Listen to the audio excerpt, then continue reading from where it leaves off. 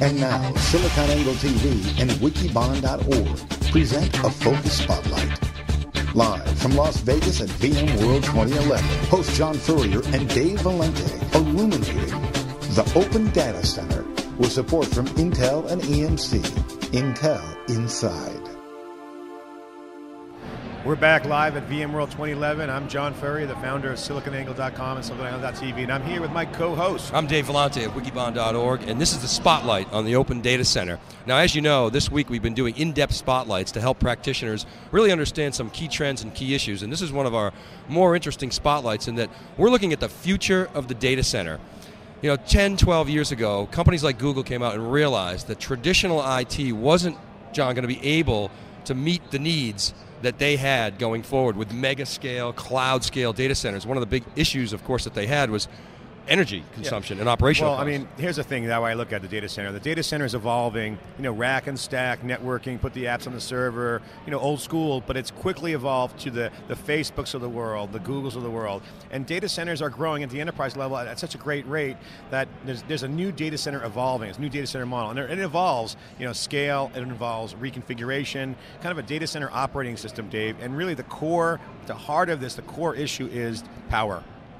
Yeah, so we've put down, uh, John, and you can see on this slide some of the new data center requirements. And as I say, it was really driven by some of the early web companies, Google in particular, but of course then Amazon and Facebook got into, got into the mix. And as you know, these companies are building mega class data centers. Microsoft's got data centers, you know, next to the Columbia River where sources of power are very cheap.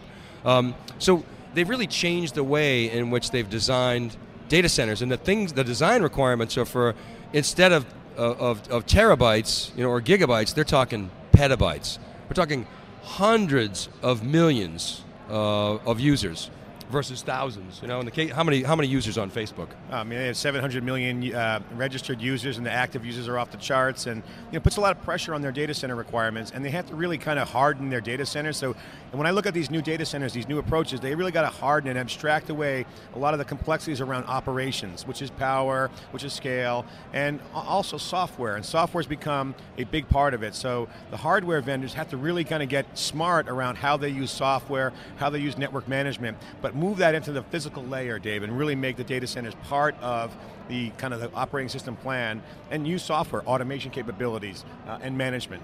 Now, one of the other things that, that they've done is they're essentially using a white box strategy, throwing commodity hardware at the problem and creating self healing. So yeah. if something dies, and something dies every day, disk drives die all the time, servers die all the time, but they could just fail over and they spread the data around. So they have this self healing and, and and, and an autonomic recovery as opposed to okay i'm going to back it up and I'm going to have to go to tape, and I'm going to have to. It just it just wouldn't yeah, work. I mean, the whole self-healing automation thing has been around for a while. The concept's not new. What's new is the changing architectures of data centers, locations, different locations near you know warm climates, cold climates, and so the nature of healing changes on that regard. Secondly, the actual hardware configurations of the op, of the data centers are changing. Obviously, they're trying to minimize the uh, footprint of the of the actual physical hardware, and then complicating all that, Dave, is virtual machines. When you add virtual machines on top of that, it really starts to really make the data center more complex. Now, the opportunity on the data center is to make it more robust and more scalable and ultimately delivering more value to the user. All of this with using less power. Power is the scarce resource, and energy consumption is a real, real design cr uh, criteria. Yes, and, and the last thing I want to say about uh, uh, this, this slide is automation is really the key. And these trends are spilling into the traditional data centers, and you've mentioned a number of times uh, power, and on this slide we've got some data. CIOs are beginning to pay attention uh, to power. Now, about three or four years ago, we did some, some work in the Wikibon community. We found that less than 5% of the CIOs that we talked to even ever saw the power budget. That number's up to about 15% now. This slide shows the percent of a data uh, center budget that's allocated to power and cooling, and you can see where it's headed up, up, up over time. Now, the mega scale data center guys like Google saw this and they said, look, we can't continue to throw this, this money at power. We got to go to yeah. Intel. We, we need uh, companies like Intel uh, and, and Seagate, frankly. We need to really redesign the way in which we approach data centers. Yeah, and our reporting at siliconangle.com is clear that when we went out to the customers and started talking to the vendors and customers, there were two real issues. You mentioned Google and Amazon. They, in a way, start with their data centers from a clean sheet of paper, but a lot of the enterprises don't have that luxury data. They have existing incumbent infrastructures and did not design with power in mind. And so that is a real kind of fundamental shift. And how do you undo the existing data centers. So a lot of the smart vendors actually look, understand this and will design for it. So there's a clean sheet of paper and then there's also the existing data centers. Now here's a nuance, uh, this next slide, uh, the energy culprits in the data center. What you can see here is the demand, the, the IT equipment, the servers, the storage and other IT equipment only consumes, John, about half of the power. The rest of it goes into cooling and and and you know UPS systems and power distribution and lighting and non-IT equipment. So the point is, and and guys like Google realize this, that if you can attack the IT equipment and make that more efficient, you can really reduce. You have a double whammy effect. What a lot of people do is they'll yeah. go put in a new cooling system, but that doesn't solve the fundamental problem. So, yeah, and they also the mega trend that, that's also on top of this that's kind of implicit in this is the fact that all the trends around big data, for example, talk about this. And I've I've had in-depth conversations, and we've talked about on the cube with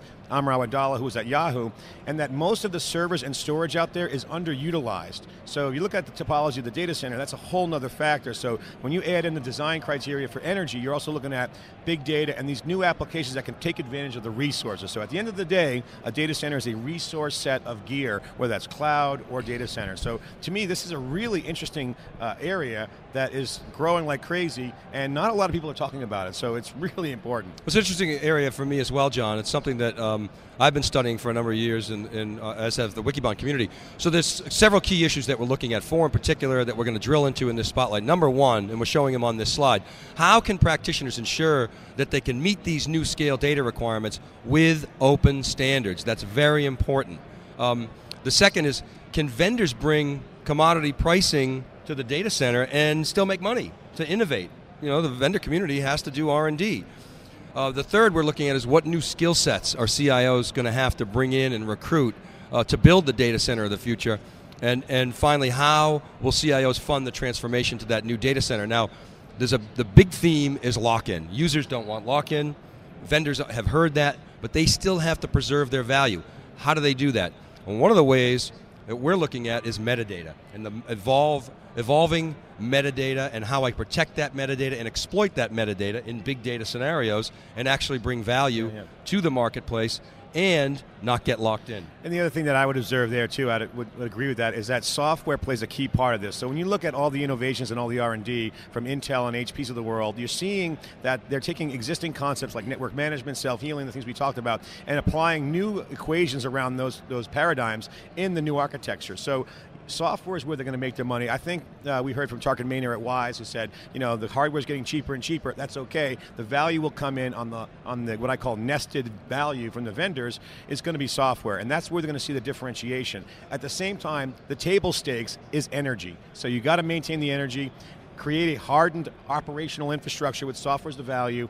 If you can do that, if vendors can do that, with the low pricing for the hardware, maintain energy, they're going to have an opportunity. And use open standards and, and to build those new scale out data centers. So, John, that's thank you very much for helping me uh, present uh, this uh, new this data spotlight center. I'm bullish intro. on the data center. The data center is rapidly changing, and with hybrid cloud and private cloud, you're seeing kind of the interplay between both, and it's, it's really relevant. So, we're going to go deep into these issues in the spotlight. We're going to bring in some subject matter experts and practitioners. So, keep it right here. We'll be right back.